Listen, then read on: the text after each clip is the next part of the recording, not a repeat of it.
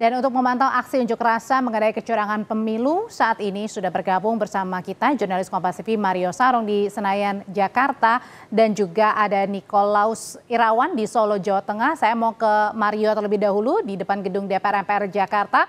Mario, situasi pantauan terkininya aksi unjuk rasa di depan gedung DPR seperti apa dan akan jam berapa selesainya rencananya?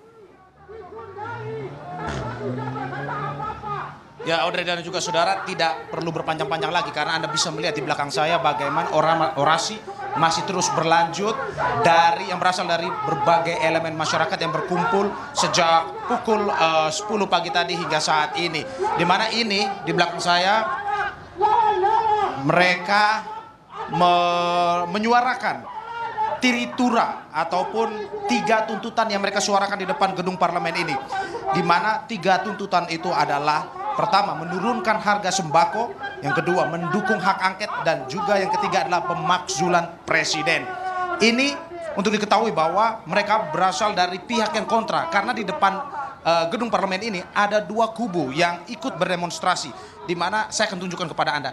Uh, tadi Anda sudah melihat yang kontra dan di sebelah saya, di seberang sana dipisahkan oleh mobil uh, water cannon polisi dan dijaga oleh kepolisian. Di seberang sana adalah mereka yang berasal dari kubu yang pro. Di mana kubu yang pro ini adalah mereka meyakini bahwa pemilu kemarin yang berlangsung pada tanggal 14 Februari uh, itu berjalan secara sesuai dengan aturan dan secara kaidahnya sehingga jika ada uh, kecurangan ataupun pelanggaran yang terjadi dilaporkan ke pihak yang berwenang dan itu adalah pihak yang uh, pro dan juga kontra melakukan demonstrasi di depan gedung MPR DPR saat ini. Untuk diketahui bahwa memang dari pihak kepolisian memberikan izin uh, kepada kedua kubu tersebut untuk melakukan demonstrasi hingga pukul 16.30 atau setengah lima sore nanti. Karena memang saudara dari adanya demonstrasi ini yang hingga saat ini berlangsung uh, uh, tenang, berlangsung tidak adanya kericuhan, ini berlangsung ini sempat membuat lalu lintas dari wilayah Gatot Subroto menuju Selipi tersendat sehingga pada pukul 6.30 16.30 nanti atau setengah lima diharapkan para demonstras demonstran bisa bubar dan juga arus lalu lintas yang berada di wilayah Gatot Subroto ini bisa berjalan lancar. Itu uh, laporan kami dari depan gedung DPR MPR. Kembali pada Anda, Audrey. Uh, Mario, tuntutan masa selain tadi usut dugaan kecurangan pemilu, apakah dengan kenaikan harga bahan pokok ini juga masa yang pro dan kontra juga sama-sama bersuara atau juga uh, pro dan kontra ini? Oke, okay, uh, eh, Audrey, da, seperti yang saya sudah katakan tadi bahwa bagaimana mereka sama-sama melakukan demonstrasi di sini, di mana uh, di depan gedung MPR DPR ini dari pihak yang kontra menyuarakan bagaimana penurunan harga sembako dan juga hak angket ini terus diusulkan terus didalami oleh pihak DPR. Sedangkan yang dari pro juga sama-sama menyuarakan bagaimana jika ada kecurangan dalam pemilu bukan melalui hak angket tetapi melalui laporan kepada pihak-pihak yang berwenang.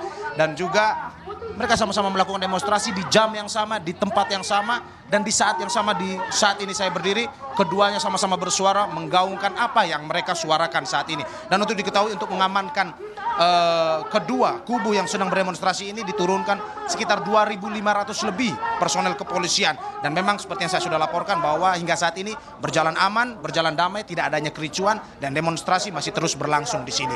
Kembali pada Anda. Audio. Mario Sarong melaporkan dari depan gedung DPR MPR Jakarta karena bukan hanya unjuk rasa yang dilakukan di depan gedung DPR MPR Jakarta tetapi juga unjuk rasa di daerah lainnya tepatnya di Solo, Jawa Tengah. Sekarang kita ke Nikolas Irawan. Nikolas, kalau tadi masih berlangsung di Jakarta, bagaimana pantauan aksi unjuk rasa di Solo? Masih berlangsung? Baik, selamat sore. Aude dan juga saudara, saat ini saya berada tepat di uh, depan mereka sedang berorasi. Mereka masih melakukan uh, aksi damai. Uh, mereka merupakan ratusan orang yang tergabung dalam sejumlah organisasi masyarakat seluruh raya yang uh, meminta untuk uh, uh, aksi damai gerakan penegakan kedaulatan Surabaya di depan halaman Balai Kota Surakarta. Memang uh, suasananya begitu ramai, namun berangsur uh, sore ini sudah mulai uh, mereka satu persatu kembali ke rumah mereka masing-masing. Demo untuk mendukung hak angket usut dugaan kecurangan pemilu terjadi di Solo, Jawa Tengah dan juga saat ini berlangsung di depan gedung DPR MPR Senayan, Jakarta. Terima kasih Nikolaus Irawan dari Solo, Jawa Tengah dan di Jakarta ada Mario Sarong.